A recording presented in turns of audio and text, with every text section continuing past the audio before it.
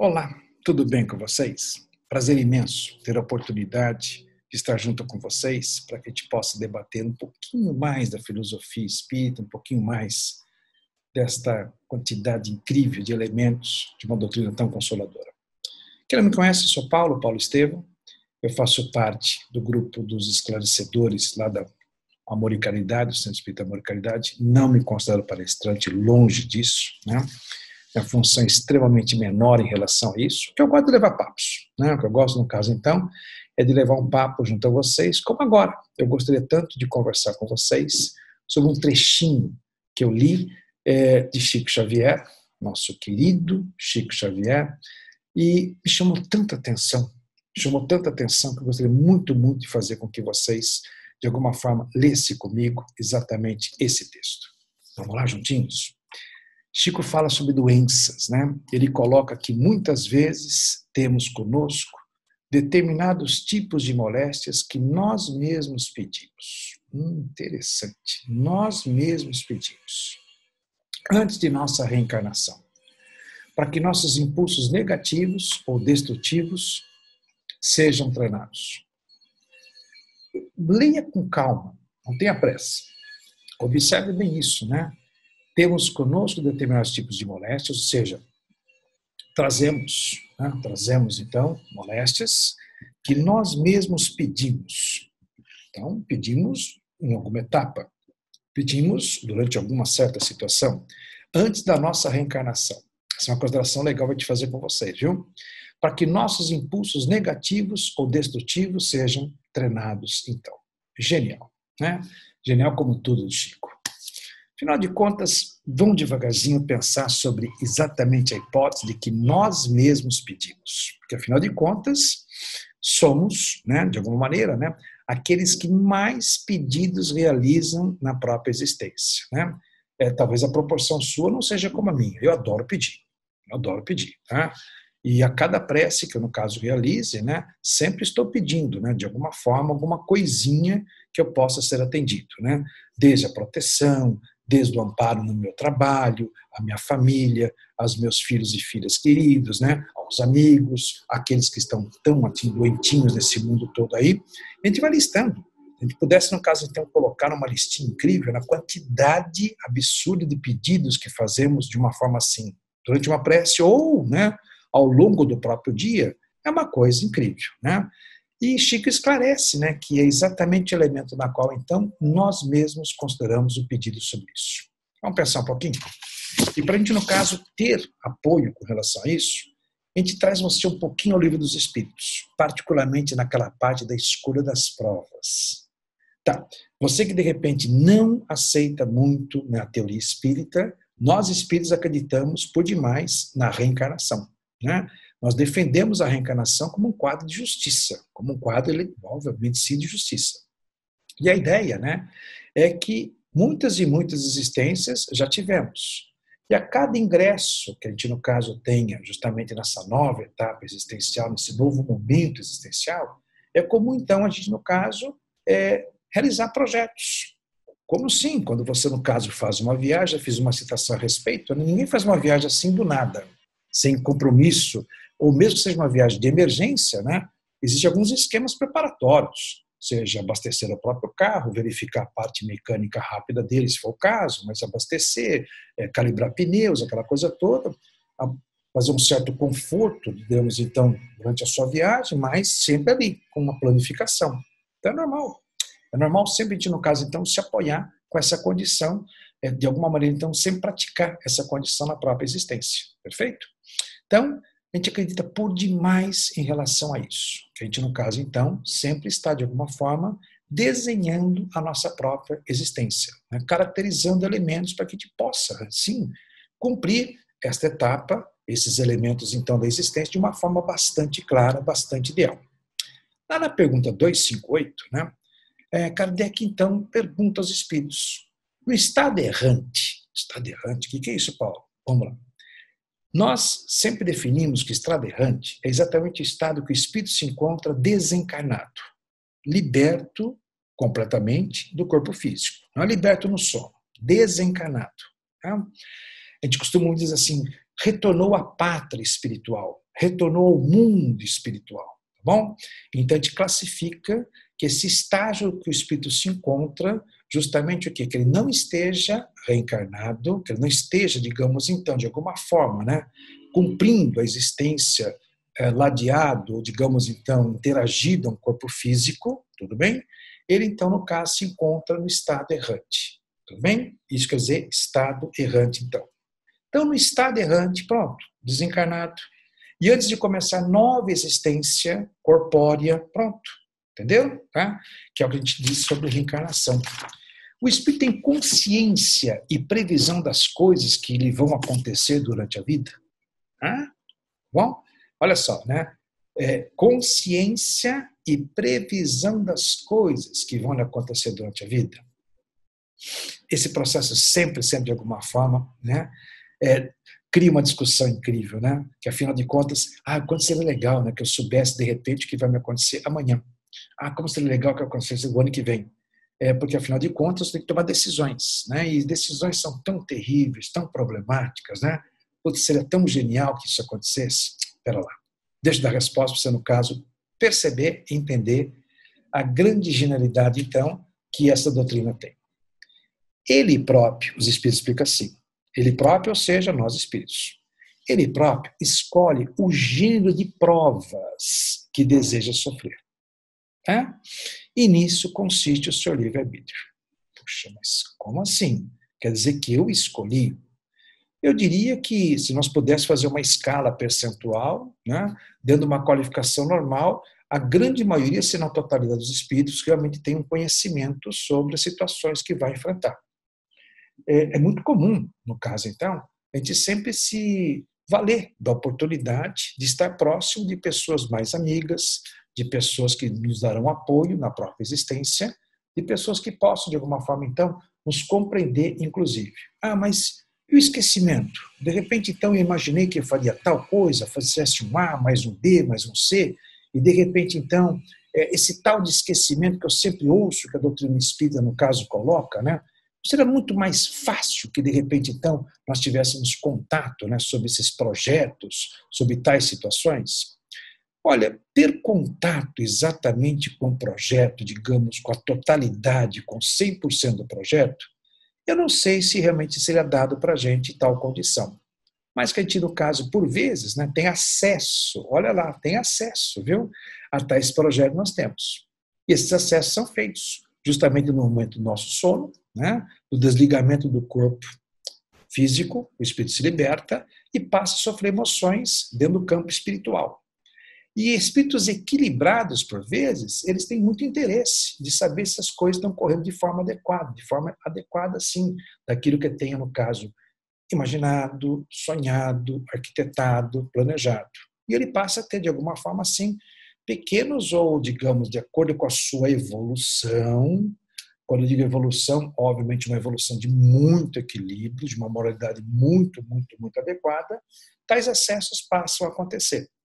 Mas o importante é você, no caso, perceber que, no nosso caso, né, a gente não está escolhendo tal fato A, B, C, mais uma vez, e qualificando assim. Escolhe-se o gênero de provas. Mas como assim gênero de provas? Ah, eu sou uma pessoa, Paulo, eu não sei dizer se isso é gênero, mas, nossa, Quanta decepção eu passo na existência? Ótimo, pronto, pronto. Né? A decepção, né, por vezes, né, é um elemento assim de tanta, tanta escolaridade. Nossa, né? Quanto a gente, no caso, possa pautar, possa de alguma forma, então, conversar a respeito disso. Né? Os fatos que muitas vezes né, é, nos levam né, a ter momentos desconcertantes em relação a uma certa pessoa, a um certo grupo, e a gente passa na existência muitas experiências a respeito disso. Eu diria que realmente sim, é um elemento que vai reestruturando a nossa própria existência, nossa própria forma de ser, nossa própria forma de conduzir. Possa ter certeza em relação a isso. Sem dúvida alguma, isso possa efetivamente vir a acontecer. Né? Olha, a paciência. Né? Nossa, gente, meu Deus, que virtude maravilhosa, que condição evolutiva maravilhosa, né? Aquele que de repente, então, de alguma maneira, esteja estudando, né, elementos para que, né, essa condição e prova, esse gênero de prova, sendo testado na própria existência, né, desenvolvendo a própria paciência. Então, nós temos sobre isso, sobre essa condição realmente acontece com a gente, sobre esse fato realmente acontece com todos nós. Possa você ter convicção, sim, que o gênero de provas são os mais variados possíveis e imagináveis. Os mais variados possíveis e imagináveis, então. E a partir daí, né, é bom que você entenda que todos nós estamos aqui, sim, na efetiva forma de perceber se a gente está dando cabo, se a gente, no caso, então, está cumprindo efetivamente a planificação dessa existência. E para isso, né, o que acontece por vezes? Né, acontece que a gente confunde muito situações assim, que lá na 258A é colocada. Não é Deus, então, que lhe impõe as tribulações da vida como castigo. Ai, que coisa difícil de considerar, né? É incrível isso, né? Como a gente tem essa mentalidade, então, de pensar, Deus castiga. Como aquela criancinha que faz uma arte, tapinha na mão, não faça isso mais, porque Deus castiga. Pronto. Tadinha dela, né? Já tem pouquíssima compreensão do próprio fato, mas ainda não tem qualquer filosofia existencial de vida para entender exatamente a condição divina, por vezes, né? Como é que ela cresce? Temendo, temeridade. Como a própria humanidade. A própria humanidade, historicamente, teve então uma proposição, nossa, muito, muito fincada sobre isso, a temeridade de Deus. Né? Todos os processos, então, que aconteciam, né, era exatamente em nome de Deus. Deus, então, que no caso, então, teria alguém ouvido. Olha só que proposição incrível, hein? E, de repente, então, Deus dirigiu exatamente tal fato a esse povo, tal fato a essa sociedade, coisa que o valha, né? E o castigo tornou-se alguma coisa, assim, muito, muito, muito, né? Disseminada à nossa própria existência. E é interessante, no caso, imaginar que não, não, não. Primeira coisa importantíssima para você, no caso, entender já já o quadro da qual eu quero trazer para vocês sobre as doenças, então, né? De maneira alguma, tá? Então não é Deus que lhe impõe tribulações da vida como castigo? Não, não, não. De maneira alguma. Não é de forma alguma, né? É, dando ao Espírito a liberdade de escolher, voltemos naquilo.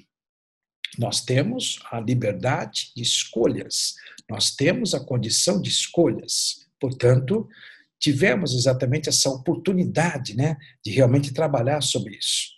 Deus lhe deixa toda a responsabilidade de seus atos e de suas consequências. Diferente da gente imaginar que Deus castiga, tá bom? Muito diferente. Proposição tão acertada, né? Colocando justamente é, na nossa conta, entenda só, na nossa conta, exatamente aquilo que a gente tenha de alguma forma produzido, arquitetado, construído, são os nossos atos. E quando se diz de suas consequências, todo mundo já entendeu muito bem o termo, né? uma descrição assim tão apropriada a respeito, né? ação e reação. Ação e reação, dois modelos geniais da própria existência. Ah, vou praticar tal coisa. Hum, você vai ter uma reação sobre isso. Né? De alguma forma, alguma coisa poderá retornar. Né? É quando te pondera, né? Pô, seria interessante fazê-lo, né? Se isso que eu esteja, no caso, com vontade de praticar, como é que seria feito se alguém praticasse para mim? A ah, peso legal, hein? De decisões que você possa muitas vezes tentar tomar na própria existência, né? Se eu devo fazer isso pensando, né, sobre qual aspecto? Se aquele que vai receber exatamente tal efeito, né, como é que seria se isso fosse praticado para mim? Ah, dá, dá uma boa maneira da gente, no caso, filtrar um pouco mais as nossas condutas, as nossas ações na própria existência. Então, por favor, vamos tirar de mente o mais urgente possível com relação aos chamados castigos divinos. Né? São todos fatos, são todos elementos ligados, interligados e reflexos, sem dúvida alguma, de quem? Dos nossos atos. Né? São de nossa responsabilidade. Mas vamos entender sobre esses dois elementos, então, a proposta das doenças, que por vezes as grandes enfermeiras da nossa própria existência, né, freios incríveis, digamos então, de muitos projetos que de repente então, a gente sempre de uma maneira acelerada ao viver, tenha construído, tenha elaborado, e de repente vem uma visita. Né? E essa visita entreabre a nossa porta, né? digamos, das nossas emoções, né? e diz: Olha, cheguei. Né? Cheguei, de alguma forma, então, vou te educar durante uma semana, dez dias, quinze, um mês, seis meses, dependendo das proposições, dependendo exatamente da intensidade, né?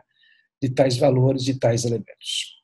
Escuta, é importante você traduzir que a sabedoria de Chico, né, tendo exatamente ditado esse aspecto sobre as doenças, então, né, que são um conforto e na verdade não essa dor da qual então tanto a gente coloca, né, abre exatamente as cortinas do mundo espiritual, né, para que haja um esclarecimento, né, que algumas doenças que hoje, né, nos dificultam a nossa jornada, dificulta a nossa existência, dificulta o nosso trabalho, trava, trava, trava, né? Foram solicitadas, observe de novo, por nós mesmos, tá? Por nós mesmos, é, veja, antes do caso desta reencarnação. Portanto, é difícil muitas vezes considerar que você que não acredita muito no aspecto, né, você que esteja me ouvindo, né, não entenda muito esse aspecto, mas o quanto é interessante você perceber desse projeto incrível existencial que todos nós, de alguma maneira, eu não sei precisar sobre o grandeza de quantos por cento, então, mas eu posso, no caso, até conferir que, sem dúvida alguma, todos nós tivemos oportunidades relacionadas a isso, seja nesta existência ou até anteriores, né, sobre esses projetos da nossa vida, então.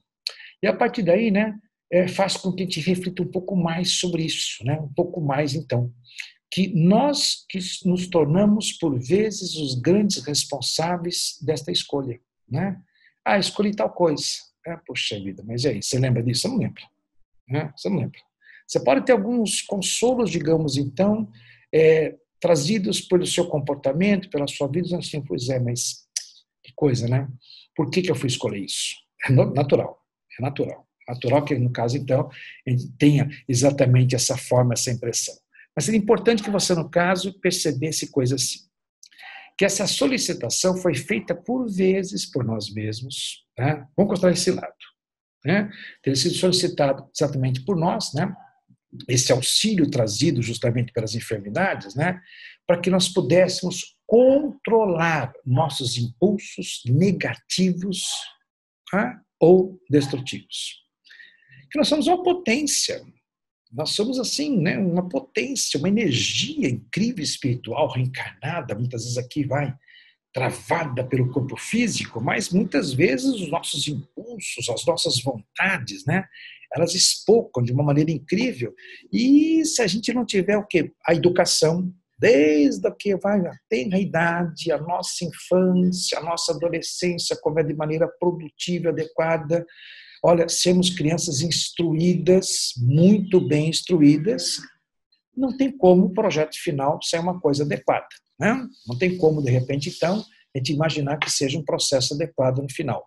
Mas que você possa imaginar, sim, que esses impulsos negativos, destrutivos, têm que ser controlados, têm que de alguma forma ser de, olha, sempre travados quando de repente, né, tais valores aconteçam. É interessante você perceber né, que a doença, né, muitas vezes, nos intima ao exercício de um maior controle sobre nós mesmos. Sem dúvida. Mas desde que ela seja educadora, né, desde que a gente tenha exatamente sempre a consciência de que, puxa, né, se isso está acontecendo, é um sinal de se esse sinal me foi dado, ou seja, pela doença, que eu tenho que, no caso, policiar mais. Né? Eu tenho que dominar mais os meus anseios, uh, dominar mais o meu apetite, por exemplo, dominar, por vezes, né, no caso, né, elementos que sejam prejudiciais da minha própria existência. Né? E esses controles, por vezes, né, são controles que muitas vezes nos faltaria né, se nós gozássemos de plena saúde. A gente não ligaria. A gente, no caso, não ligaria, então. Quer ver um exemplo? É, é comum a gente, no caso, ter informações a respeito de pessoas com tendência né, ao uso, digamos, excessivo de bebidas alcoólicas, essa pessoa ela pode solicitar, dentro então né, da sua planificação, determinados elementos que, antes de renascer, sejam bloqueios. Né, sejam bloqueios.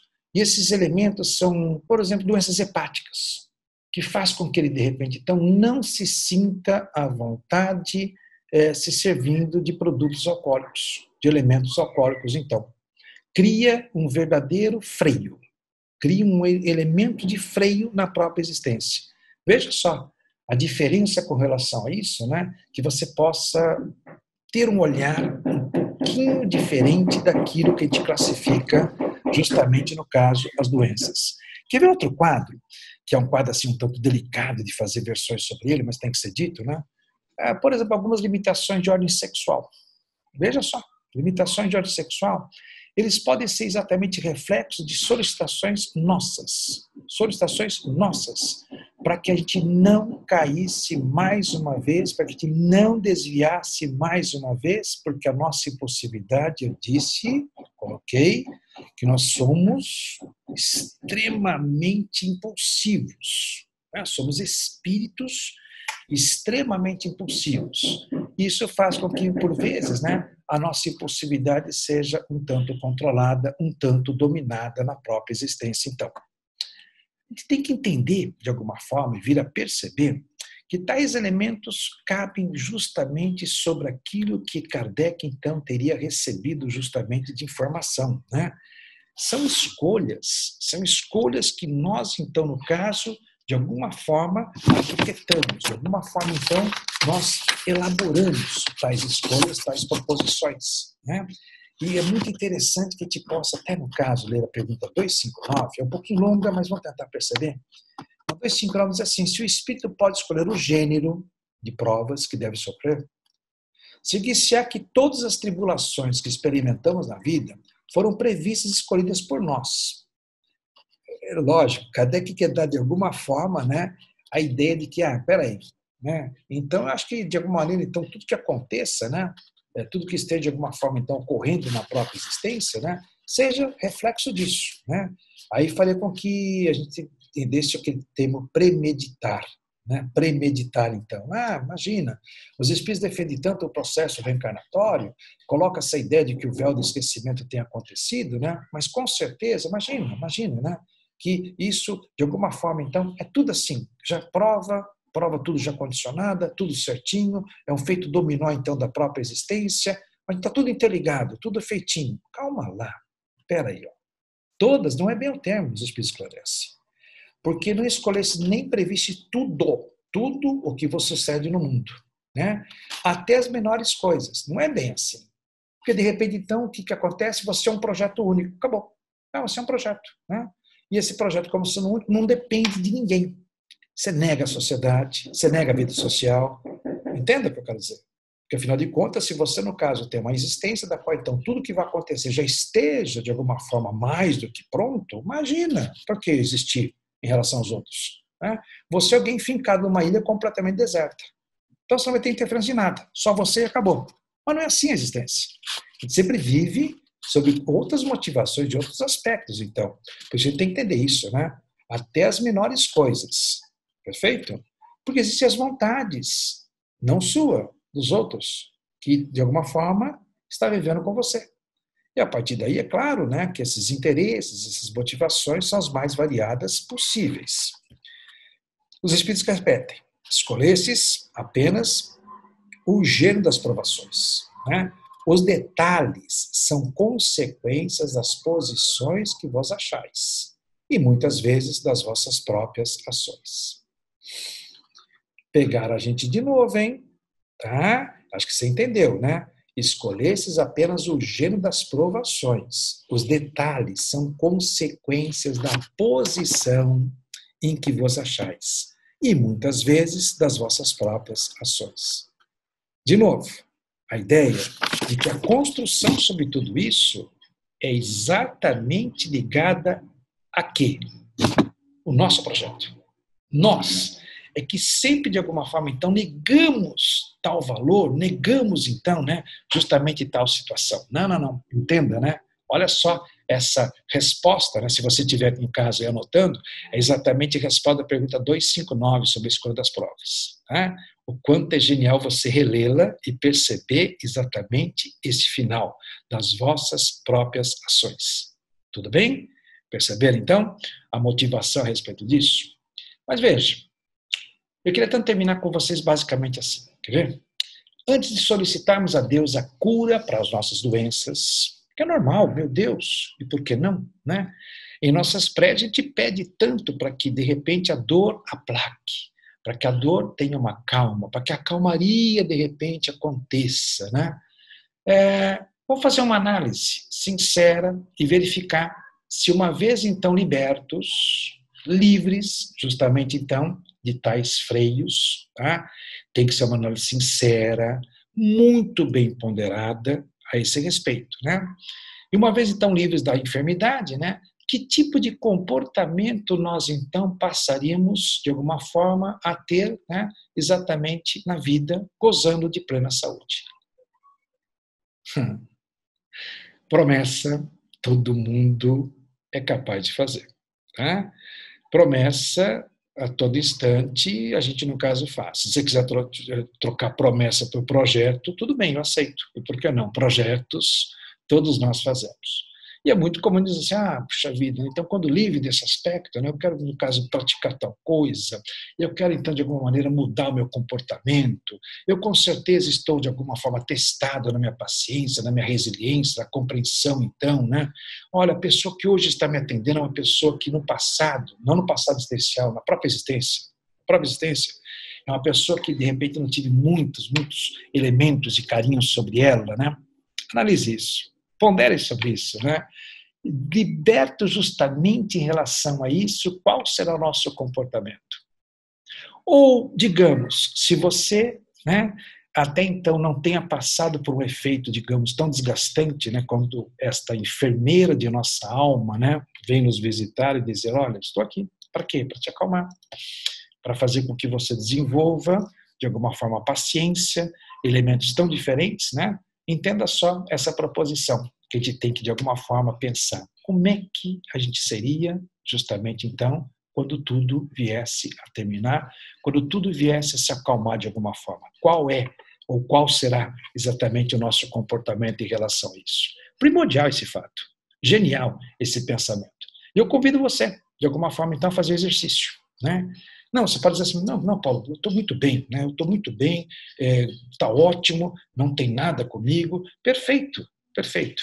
Não tendo nada, eu quero que você fique melhor ainda, tá? Melhor ainda. E ficando melhor ainda, o que é que necessariamente você, de repente, então, vai começar a praticar? Vai começar, de alguma forma, a agir na própria existência, digamos, então, no seu próprio projeto de vida, né? Sempre lembrando, que tudo que a gente, no caso, pratique, que tudo que a gente, no caso, faça, com certeza os reflexos virão, né? Os reflexos existirão. Mas interprete bem isso, viu, nesse tema de hoje, né? São protetoras, são elementos que, de repente, então, exercem uma proteção muito genial na nossa própria existência. Contrário, por vezes, né, do que a gente possa imaginar que aconteça, é, que as doenças bloqueiam toda a nossa vontade, toda a nossa existência. Elas são protetoras. Por que pareça, são amigas. Por que pareça, são amigas. Essa é a nossa mensagem de hoje. Um grande abraço para todos vocês. Olá. Espero que estejam todos bem, que estejamos todos bem nesse isolamento, nesses dias diferentes que estamos vivendo, né? Estamos aqui para mais um bate-papo sobre o Evangelho, sobre reflexões que nós sempre gostamos de fazer. E hoje, quando comecei a preparar o nosso tema, uma reflexão, né, uma, um questionamento muito forte veio e eu resolvi me aprofundar nesse tema para conversarmos um pouquinho.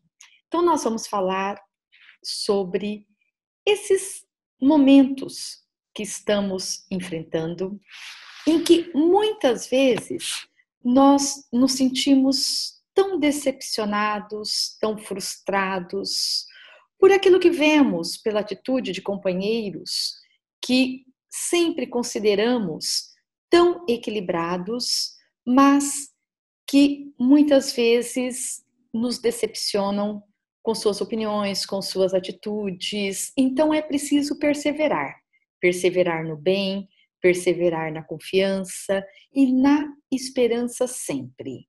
Pensando sobre isso, eu busquei no Evangelho uma lição que me acalentou bastante, que é o capítulo 17, né? Ao qual eu sempre vou quando estou com essas dúvidas, para me lembrar do nosso compromisso, do nosso verdadeiro objetivo aqui: sermos melhores, sermos perfeitos. Esse é o nosso objetivo maior. melhorarmos a cada dia, amadurecermos a cada dia. E no item 3, o homem de bem, eu sempre falo que é uma receita para todos nós. E uma lembrança, né? Quando a gente precisa realmente relembrar, né, de que estamos aqui justamente para sermos melhores, para crescermos. No primeiro parágrafo deste item 3 do capítulo 17, nós temos a seguinte afirmação: só ela vale pelo capítulo. O verdadeiro homem de bem é aquele que pratica a lei de justiça, de amor e de caridade em sua maior pureza. Se interroga a consciência sobre os seus próprios atos. Pergunta a si mesmo se não violou essa lei, se não fez o mal e se fez todo o bem que podia, se negligenciou voluntariamente uma ocasião de ser útil, se ninguém tem o que reclamar dele. Enfim, se fez a outrem tudo o que quereria que se fizesse para com ele. Eu penso que esse parágrafo nós deveríamos ler todos os dias, né? Deveríamos ler para que ele sirva de direcionamento para nós e também para que nós tenhamos mais paciência e possamos compreender melhor aqueles que estão à nossa volta. Tão importante nos lembrarmos de que não basta não fazer o mal, né? É preciso que nós façamos o bem. É preciso que nós tenhamos a consciência tranquila ao deitarmos a nossa cabeça no travesseiro, né? E observemos se realmente nós não prejudicamos ninguém, tá certo? Isso é o mais importante. Portanto, esse é um parágrafo que nós poderíamos ler e reler várias vezes ao dia para que nos policiássemos em relação aos nossos atos do dia a dia. Sim, porque nós observamos que quantos caminham conosco né, nesta existência, nesses dias tão difíceis, nesse mundo que nós sabemos que nunca foi fácil, e muitas vezes não observam essas regras tão importantes. Quantas pessoas nós observamos, né? Verdadeiros amigos, sinceros, devotados aí aos compromissos superiores assumidos e que de repente nos desencantam com suas atitudes. E por que nos desencantam? Justamente porque se esquecem dessas máximas tão importantes do nosso evangelho. Se esquecem do quanto outra é importante, do quanto nós precisamos observar bem aquilo que falamos, a forma como agimos, as escolhas que fazemos no dia a dia, se não estamos prejudicando alguém. E quantas vezes nos esquecemos disso? Em razão do quê? Em razão de não prestarmos atenção, de não observarmos, então, essas leis, esses ensinamentos tão importantes para todos nós. Quantas vezes e quantos de nós, né, postergamos esse momento de crescimento? Quantas vezes não observamos se realmente estamos cumprindo com esses ensinamentos? Não nos preocupamos se prejudicamos alguém, se ofendemos, se discriminamos, ou mesmo se falamos, né, uma palavra que magoe, que machuque alguém. Então, é muito importante que nós estejamos atentos e perseveremos sempre nessa nossa certeza de que é preciso nos melhorarmos, é preciso estarmos atentos ao nosso posicionamento no mundo, não nos esquecendo de que somos espíritos encarnados em sociedade neste mundo para que nós possamos fazer a diferença. Então, é essa diferença que o Evangelho nos ensina, nos direciona. Muitos se esquecem disso. Quantas falências morais nós observamos? E muitas vezes falências, né? Mesmo de líderes, de líderes religiosos, líderes que estão aí à nossa volta, na sociedade, à frente de empresas, à frente de famílias, líderes tão importantes, mas que acabam trilhando o caminho da desonestidade, o caminho vicioso, que está bem distante deste caminho que o Evangelho nos ensina. E, principalmente nesses momentos né, de tanto desequilíbrio, de tantas preocupações, com tanto sofrimento, tanta dor à nossa volta, nós observamos aí, né, quantas pessoas estão alucinadas, quanto desequilíbrio nessa nossa sociedade. É preciso, então, que nós cultivemos os valores éticos, os valores éticos, a moralidade e os ensinamentos que temos tanto recebido em todos os momentos da nossa existência, porque nós vivemos uma era em que ninguém pode alegar ignorância, né? Os bons ensinamentos nos chegam a todos os instantes e principalmente nós que somos adeptos da doutrina espírita, que procuramos estar e desenvolvermos a nossa espiritualidade. Nós estamos lendo, nós estamos nos informando o tempo todo, nós temos palestras maravilhosas que nos auxiliam. Então, não há como alegarmos ignorâncias. E muitas vezes nós nos esforçamos tanto, né, para que tenhamos uma conduta saudável, para que nós, né, não nos envolvamos com nenhum ato de corrupção, nenhum abuso ético e às vezes nos sentimos até enfraquecidos. Por quê? Porque observamos a todos os instantes tantos problemas dessa ordem, né? Basta que nós liguemos a televisão, que nós busquemos no jornal e vamos encontrar a todos os instantes escândalos, atos de corrupção, afrontas ao próximo.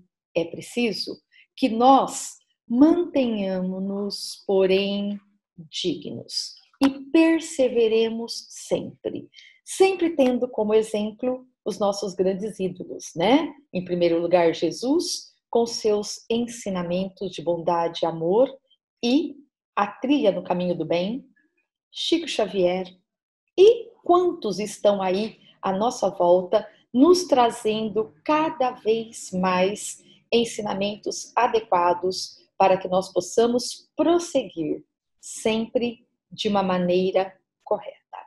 E observamos ainda que, por mais que esse desequilíbrio, por mais que o mal se alastre, jamais esse desequilíbrio será normal. Nós sabemos que essas atitudes causam mesmo decepção e não são normais. Mas nós temos sempre a certeza de que não estamos sozinhos e que até para o mal há um limite. Até para o mal há um limite. Nós estamos em plena evolução plena evolução né, como cidadãos, como espíritos aqui encarnados, e sabemos que o nosso mundo está evoluindo também. Portanto, este mal é transitório. Nós temos uma certeza disso. E apesar de muitos estarem iludidos, né, nós mesmos, muitas vezes, nos achamos até ingênuos demais, porque quantas pessoas praticando atos ilícitos e se dando tão bem, enquanto nós, que procuramos fazer tudo certinho, dentro dos limites de moralidade e ética, muitas vezes sofremos tanto. Aí nós entendemos que estamos todos no caminho correto e colhendo aquilo que precisamos colher, aquilo que plantamos. Mas o importante é o que nós estamos fazendo agora e a compreensão que nós temos. E esses que conseguem tantas vantagens, muitas vezes de formas ilegais, ilícitas, prejudicando o próximo, nós sabemos que não são felizes. E, logicamente, isso não vai longe, porque o verdadeiro caminho é o caminho da moralidade. Então, por mais que estejam felizes, por mais que pareça que consigam tudo aquilo que almejam, nós sabemos que não é bem assim há uma ética do equilíbrio. Esse equilíbrio sempre existiu em todos os períodos de evolução na nossa sociedade. E por mais que surjam extravagâncias, escândalos, nós sabemos que eles se alterarão. Se alterarão por quê? Porque haverá sempre uma trajetória ideal uma trajetória para o aperfeiçoamento, uma trajetória para o crescimento, uma trajetória para a evolução da nossa humanidade. Nós, se nós observarmos bem, se nós fizermos uma pesquisa, como muitas vezes é feita, nós observaremos, por exemplo, que nem sempre aqueles que agem dessa maneira, aqueles que conseguem tanto em termos materiais, são felizes. Observamos que falta-lhes a paz necessária para que possam dormir tranquilos. Tenhamos todos nós a certeza de que só existe realmente plenitude, só existe momentos felizes, digamos assim, porque nós sabemos que a felicidade é feita de pequenos momentos, mas só existem esses momentos felizes, momentos de tranquilidade, quando nós temos a nossa consciência tranquila e quando trazemos o reino de Deus em nós. Não nos esqueçamos que o reino de Deus em nós quer dizer estarmos bem conosco mesmos. E quando é que nós estamos bem? Quando nós temos a certeza de que estamos fazendo melhor, em todos os sentidos, seja profissionalmente falando, seja familiarmente falando, seja em qualquer momento da nossa existência. Quando nós agimos de acordo com a legalidade, de acordo com a ética, nós estamos agindo bem. E com certeza é isso que se espera sempre de cada um de nós. Então, a trajetória sadia, a conduta adequada é a melhor, é o melhor caminho para todos nós. E como eu disse há pouco, vamos prestar atenção nos nossos grandes mestres, né? Vamos prestar atenção naqueles que não se corromperam mesmo diante das maiores e melhores oportunidades. Vamos observar como estão hoje na espiritualidade, como foi o final de vida daqueles que sempre se policiaram para agirem de acordo com o homem de bem, de acordo com as lições do nosso evangelho, principalmente nesse capítulo 17. E agora estou me lembrando, né, de mais um grande ídolo nosso querido São Francisco de Assis. Nós nos lembramos de que São Francisco de Assis sempre nasceu em berço de ouro, era um jovem muito rico, né? Mas ele superou toda essa ilusão de dinheiro, do poder, né, do ter, para realmente optar pelo ser. Por ser a pessoa sensacional, o exemplo de vida que foi para todos nós, submetendo-se a todos os sacrifícios, deixando toda a sua fortuna, é, vivendo na maior humildade e sofrendo as maiores humilhações, né? Apesar disso, ele sempre era chamado, né? Ele tinha um apelido, as pessoas gostavam de chamá-lo de irmão alegria. Por quê?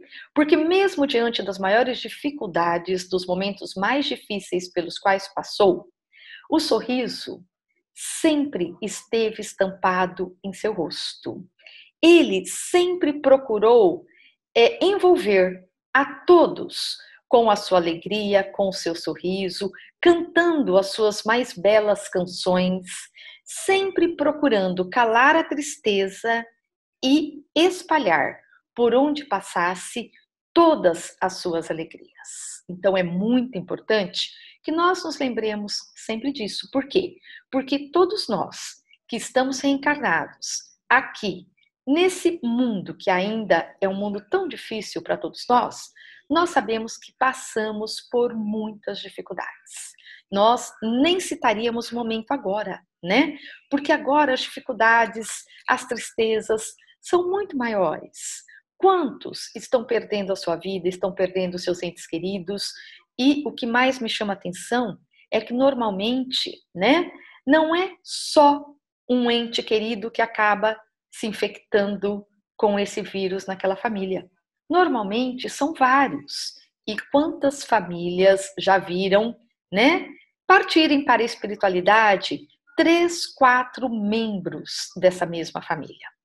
Então, são situações muito difíceis, dificuldades para o tratamento com os nossos hospitais lotados, o problema que nós estamos vivendo e vamos viver ainda com a nossa economia, porque afinal, quantos estão sem trabalhar, como tem crescido o nosso desemprego.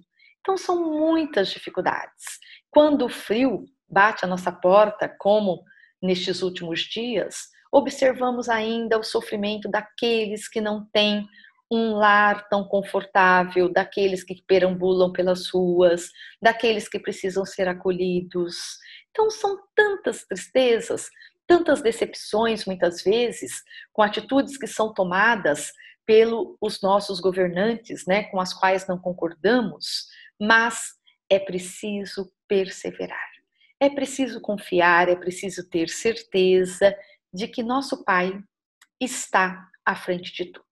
E nós somos sempre protegidos e amparados. Então, façamos sempre como São Francisco de Assis, procuremos levar por onde passarmos sempre as melhores palavras, palavras de reconforto, de alegria, de incentivo, acolhendo as dores de todos aqueles que batem a nossa porta, procurando ajudar da melhor maneira possível. Isso é perseverar na fé, isso é perseverar com Jesus. Isso é se preocupar em ser um homem de bem. E é isso que o Evangelho vem a todos os instantes nos lembrar, nos lembrar de que esse é o caminho que nós temos que trilhar. Nós temos tanto nós conhecemos tanto. Então, não podemos colocar esses ensinamentos, né, aí na omissão. É preciso que nós trabalhemos, ajudemos da melhor maneira possível a todos aqueles que necessitem. E somos lembrados a todos os instantes, né, pela nossa literatura espírita, pelo nosso evangelho, pelos nossos mentores amigos, que não é possível mais que nós tenhamos, né, depois de dois mil anos com esses ensinamentos de Jesus, que nós tenhamos ainda atitudes tão infantis, que nós não pensemos, né, é, que teremos realmente, somos responsáveis por tudo aquilo que fazemos e que nós ainda cometamos, né, erros que são esses erros de deserção, de nos afastarmos do caminho do bem, de agirmos ilegalmente, ilicitamente, de prejudicarmos o nosso próximo, eu acho que nós já temos uma consciência bem formada em relação a isso. E esse já é um compromisso natural para nós espíritas, para nós que procuramos estudar e entender o Evangelho segundo o Espiritismo. Temos que colocá-lo em prática, temos que agir de acordo com esses exemplos tão bonitos que nós temos. Então, é preciso que permaneçamos, que perseveremos sempre na ação do bem, nos harmonizando, ou seja, procurando compreender todos esses desatinos que estão à nossa volta e nos policiando para que não os repitamos. Essa é a nossa grande preocupação, certo? Porque se há muito desequilíbrio, se há muito erro, é preciso que nós não façamos isso, que nós não cometamos os próprios erros. É preciso que nós tenhamos a certeza de que os bens imperecíveis da nossa vida são os bens que o Evangelho nos ensina. É o amor ao próximo, é perdoar sempre, é procurarmos compreender a todos, é agirmos com justiça e com certeza, sim, porque há momentos em que nós temos que repreender, há momentos em que nós temos que esclarecer, e muitas vezes isso não é tão fácil e nem tão agradável, principalmente para aquele que tenha que o fazer. Mas é preciso para que o mal maior não aconteça. Então, que nós estejamos sempre atentos estejamos sempre refletindo sobre essas lições tão bonitas que nos chegam sempre e nos lembrando de que dias difíceis, dias sombrios virão, acontecerão sempre, não somente comigo ou com você, mas com todos nós. Todos nós atravessaremos noites, momentos de tempestades, de insônias, de inquietações. Porém, não nos esqueçamos de que bem-aventurados serão aqueles que enfrentarem todas essas tormentas com paz de consciência, com o coração tranquilo, com a certeza da prática do bem. Então, não podemos de forma alguma nos arrependermos de nossas escolhas. Por quê? Porque temos certeza de que nós procuramos nos afastar cada vez mais do erro, do erro. E estamos sempre procurando ter comportamentos ideais. Durante a sua jornada terrestre, se acercaram de Jesus e desejaram segui-lo. No entanto, as, os embaraços do mundo os retinham, impediram-nos, e eles permaneceram na ilusão. Aqueles que as romperam e permitiram acompanhá-lo, acompanhar Jesus, hoje desfrutam do paraíso, e os demais ainda se encontram atados às mesmas aflições, com sede e fome de Jesus. Que não sejamos nós a cairmos em ilusões. Muito pelo contrário. E quando estivermos em dúvida, quando titubearmos, voltemos ao item 3 do Evangelho, do capítulo 17 do Evangelho segundo o Espiritismo, e recordemos: o verdadeiro homem de bem é aquele que pratica a lei de justiça, de amor e de caridade em sua maior pureza. Se interroga a consciência sobre os seus próprios atos. Pergunta a si mesmo se não violou essa lei, se não fez o mal e se fez todo o bem que podia. Perseveremos, perseveremos sempre no caminho do bem para que nós estejamos bem e façamos o bem, envolvamos com o bem todos aqueles que estejam à nossa volta. Que assim seja e muito obrigada a todos. Um grande abraço.